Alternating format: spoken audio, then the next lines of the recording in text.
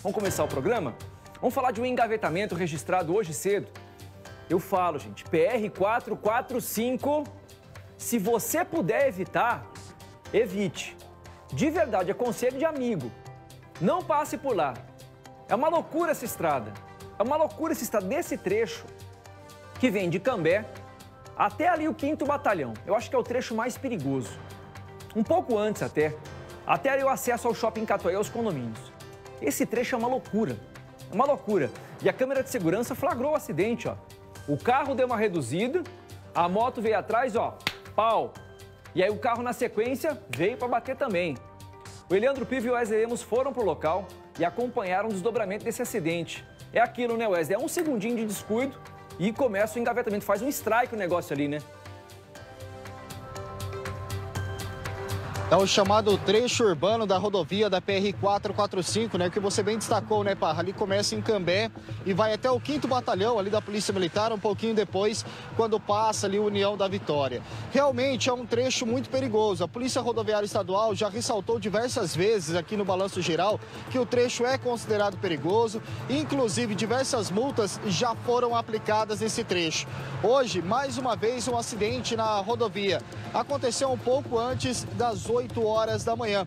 Ou seja, é, o, o, congestionamento muito grande. Esse trecho é utilizado diariamente por diversas pessoas que moram na região, que transitam a caminho do trabalho. E como você bem disse, a câmera de segurança mostra o que aconteceu. Uma frenagem, então, logo em seguida a moto bate na traseira de um carro, aí vem um Onix que bate nessa moto, em seguida tinha um carro do governo, da Secretaria de Estado da Saúde, que estava inclusive com uma paciente do oftalon, que também se envolve nesse acidente, e uma segunda motocicleta também se envolveu. Ou seja, pelo menos três carros e duas motos se envolveram neste engavetamento.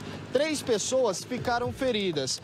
A situação mais grave foi de um homem de 55 anos que teve fraturas do rosto, precisou ser encaminhado ao Hospital Universitário de Londrina. As três pessoas que se feriram estavam nas motos, ou seja, comprovando mais uma vez né, que o motociclista sempre leva a pior em um acidente como esse que aconteceu na rodovia na PR 445.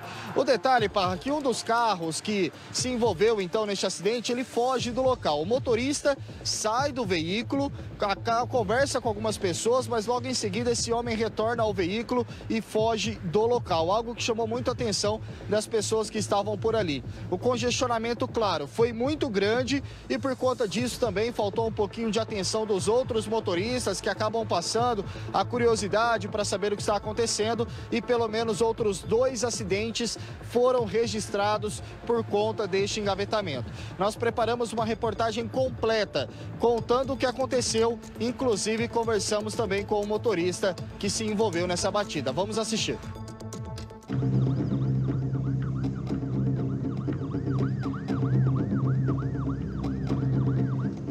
A correria dos bombeiros foi intensa para atender as vítimas. Três homens que estavam em duas motos ficaram feridos. A situação mais grave era de Joel Rodrigues, de 55 anos, levado ao HU. Múltiplas faturas aí avaliadas, né, vão ser precisadas mediante a exame intra-hospitalar.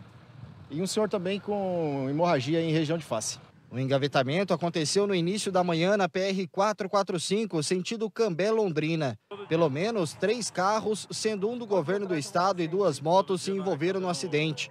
Daniel é o motorista do veículo da Secretaria de Saúde e passa todos os dias pela rodovia com pacientes de Mandaguaçu. Ele levava uma mulher para o Ofitalon. Houve uma parada brusca onde eu, para evitar maior choque, consegui frear de uma vez. Só que o motoqueiro que vinha pelo corredor atrás de mim me acertou.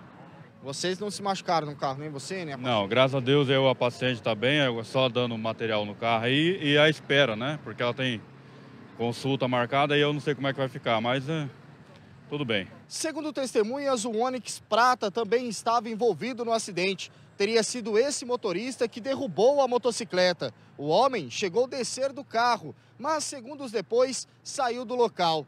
A placa foi anotada e repassada para a polícia. Com o horário de pico, o congestionamento foi grande na PR 445. O trânsito ficou lento e aconteceram outras duas batidas dos dois lados da pista. O Corsa ficou com a frente destruída e precisou ser guinchado.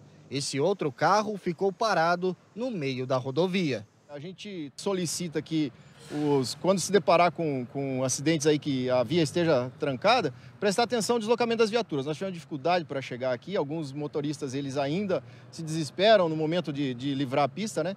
É, isso dificulta bastante aí o tempo de resposta do Corpo de Bombeiros. Então, orientar os motoristas, fiquem atentos aí a, de repente, o caminhão às vezes tem que trafegar pela, pelo acostamento para poder chegar, né? Então, solicitar que seja é, favorecido aí o, o, trânsito da viatura no momento de que o, o fluxo está parado.